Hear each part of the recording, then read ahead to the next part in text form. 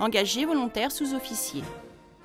Votre appartenance à la 335e promotion est symbolisée par votre insigne.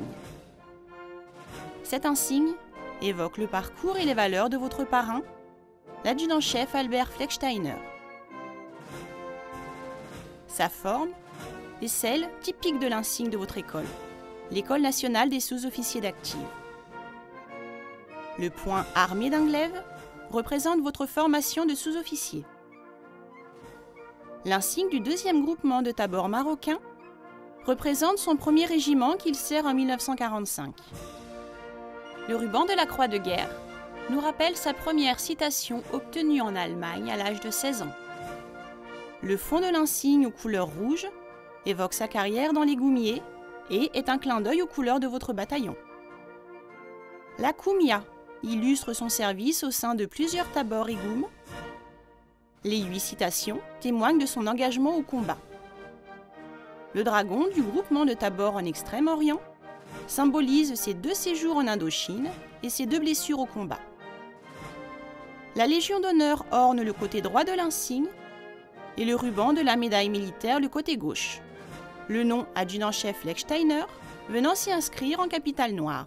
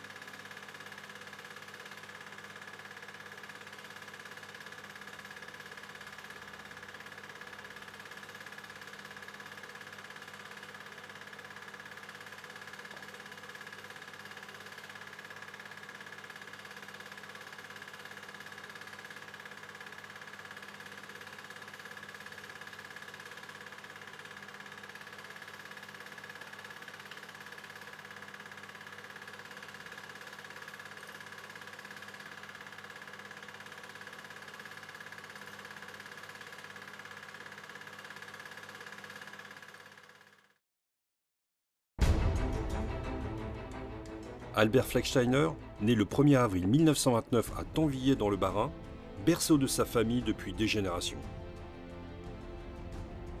Son père, Joseph, a effectué ses trois ans de service militaire dans l'armée allemande de 1911 à 1913 et s'est retrouvé sur le front de l'Est jusqu'en 1917.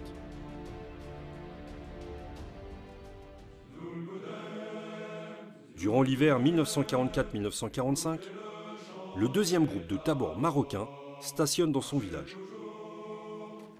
N'ayant pas l'âge légal pour être incorporé, il s'engage à 15 ans sous le nom de Moaou Bassou Enflek le 1er mars 1945.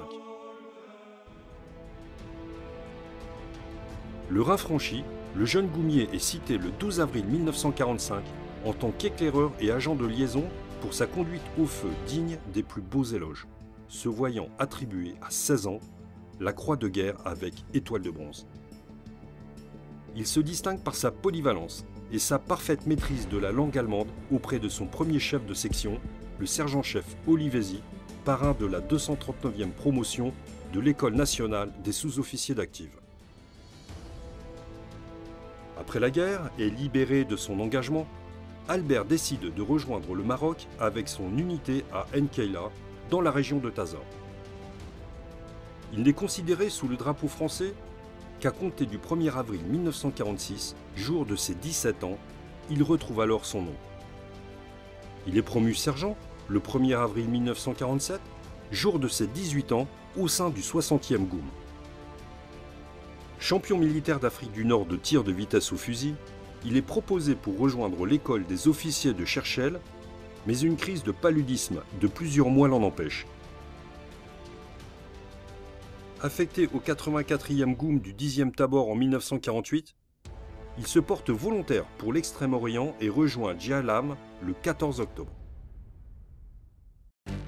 Engagé dans toutes les missions, il est blessé le 22 janvier 1949 par une rafale d'armes automatiques au cours d'une patrouille.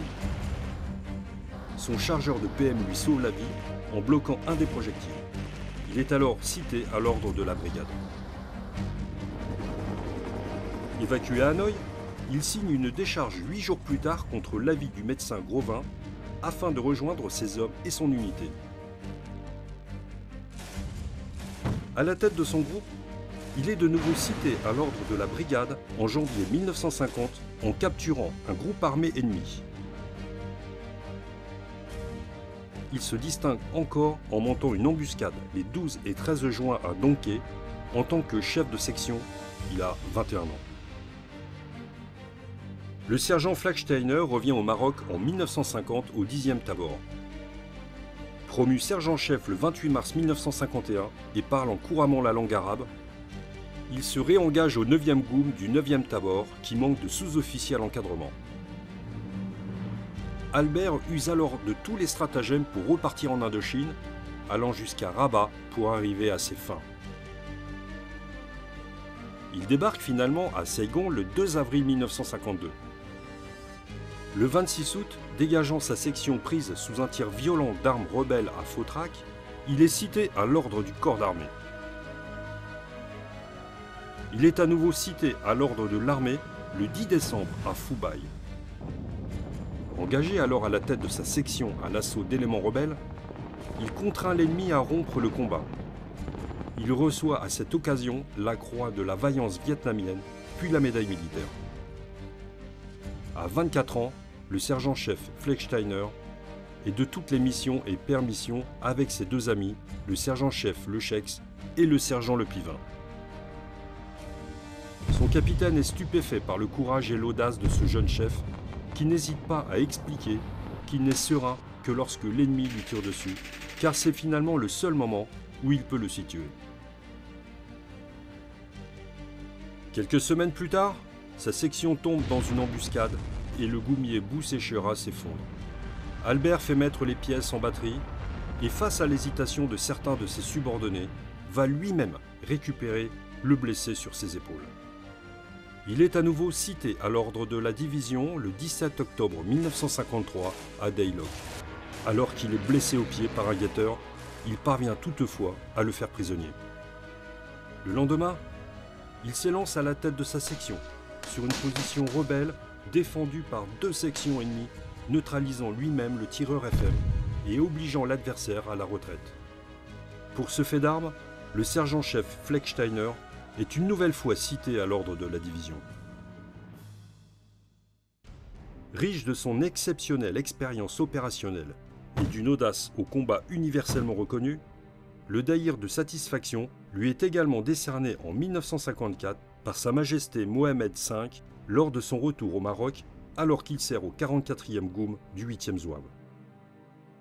Promu adjudant le 1er avril 1956, il rejoint quelques mois plus tard la première compagnie de nomades en Algérie et se distingue dès son arrivée en étant cité à l'ordre de la brigade à Aïssaouas après s'être porté avec sa section au devant d'une katiba lui interdisant toute manœuvre. Promu adjudant-chef à titre exceptionnel à 30 ans en 1959, il est fait chevalier de la Légion d'honneur en 1961. L'adjudant-chef Flecksteiner, particulièrement touché par le contexte sensible de la fin du conflit algérien, en tant qu'Alsacien attaché à la France, en tant que Goumier attaché au Maroc, et surtout en tant qu'ami de Le Pivin, tué après avoir rejoint l'OAS, l'organisation de l'armée secrète, quitte le service actif en 1962.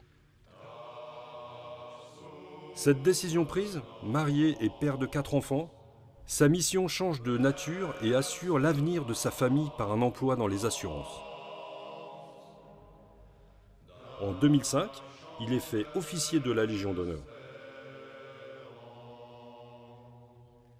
Le 25 août 2013 à Strasbourg, Albert Flecksteiner s'éteint, entouré des siens à 84 ans, laissant le souvenir d'un chef engagé et particulièrement audacieux.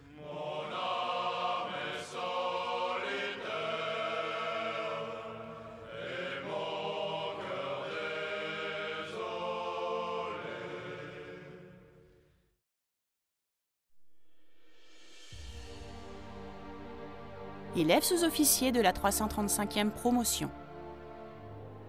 L'adjudant-chef Albert Flecksteiner, votre parrain, a démontré très jeune, et tout au long de son engagement au service de la France, un dynamisme et un courage peu communs. Engagé dès son plus jeune âge, il n'aura cessé de relever les défis du chef audacieux et exemplaire qu'il était, au sein des conflits de son époque. Prenez donc exemple sur l'homme intrépide et performant, et méditez l'exemple exceptionnel qu'il vous offre. En faisant mémoire de ces magnifiques faits d'armes et tout au long de votre carrière de sous-officier, vous contribuerez ainsi à donner des repères aux générations futures. Battez tambour à nos amours, pour le pays, pour la patrie, mourir au loin, c'est nous les Africains.